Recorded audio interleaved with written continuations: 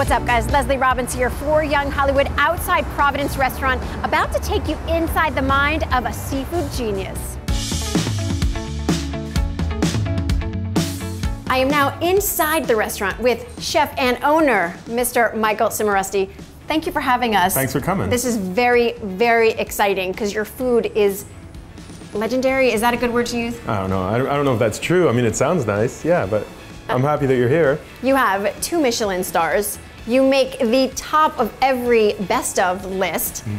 What makes it so special? Uh, you know, myself and my partners and all the chefs that work here and everybody, we just have like a very single-minded sort of mission to like just make this the best restaurant that it can be. Uh, you know, on all levels, from food to service to the quality of ingredients.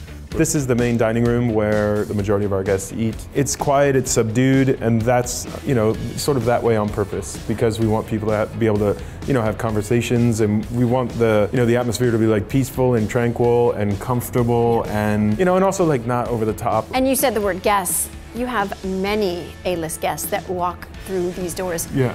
Brad Pitt walks in. Where's he gonna sit? Right behind us, usually right here, like because there's a quiet table and it's sort of out of the way. He has, yeah. Oh, really? Yeah. Brad Pitt's butt has been on that on that couch. That's that's nice. It's the people that have saved up for six months to enjoy this place on their anniversary or their birthday, um, and you know, and it's just as important as, as to us to please those guests as it is for you know anybody that you may have heard of or read about.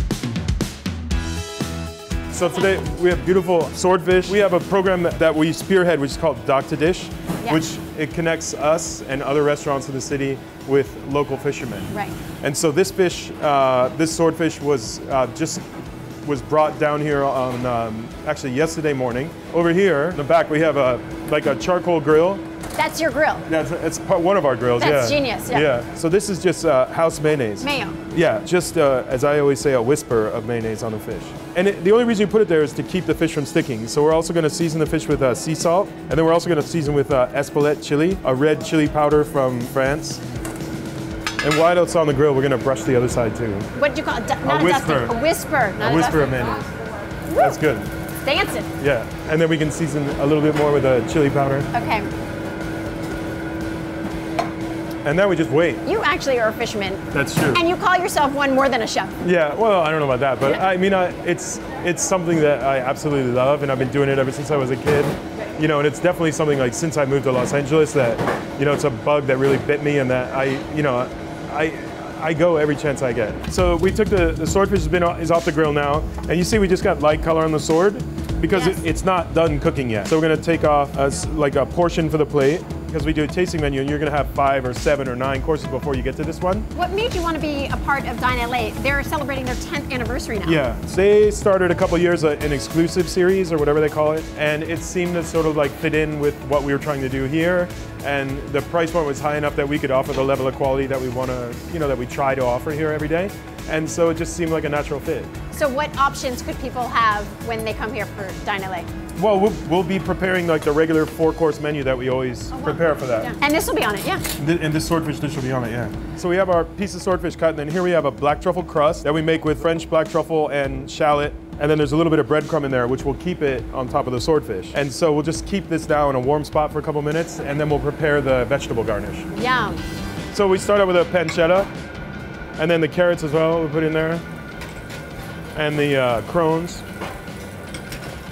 and then the romanesco. A little bit of sea salt, and then uh, sherry vinegar. Okay. The sherry vinegar works really well with all of these flavors. And then here we have our the sauce for the dish, which is um, it's a truffled uh, poultry juice. So the, the swordfish has been resting in a warm spot. And you see the crust is kind of melted a little bit, but we just put it in the broiler just to brown it a little bit. So, Chef, what's cool about the Winter Dine LA series is there are 400 restaurants that diners have to choose from in LA alone, 16 in the exclusive series. Wow. But to be honest with you, the look of that swordfish alone, there's only one option Providence. There's only one option. Thank you. Yeah. It's stunning. It's light. And my my thing with fish is always that fishy taste. Mm-hmm. I don't gravitate towards fish because the fish taste. This has none of that. No, not at all. Once we started finding these local fish, um, I, I don't know, we just, I, I fell in love with it, and I think everybody in the back did too. And I think our guests do too, because whenever we have it available, it's like crazy. We, you know, it's like every table has swordfish pretty much.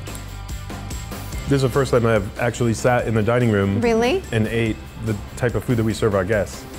We eat crew meal out here and stuff, but I just I've never sat down in this restaurant and e- eaten a full meal. Well, I feel honored that it's with me. Yeah. How does it make you feel? I know how love it makes me feel. I'm gonna go back there and give them all a big pat on the back.